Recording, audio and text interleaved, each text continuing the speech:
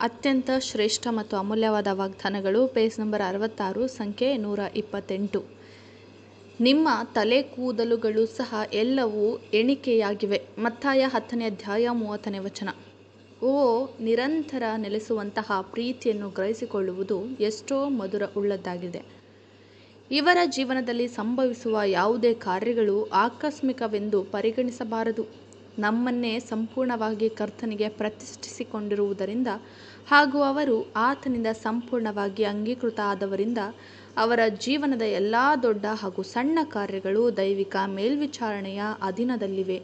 ಅವುಗಳೆಂದರೆ ಅವರ ಆರೋಗ್ಯ ಅಥವಾ ಅನಾರೋಗ್ಯ, ಅವರ ಹಕ್ಕು ಅಥವಾ ಭಾಗ್ಯಗಳು, ಅವರ ಸುಖ ಅಥವಾ ದುಃಖಗಳು.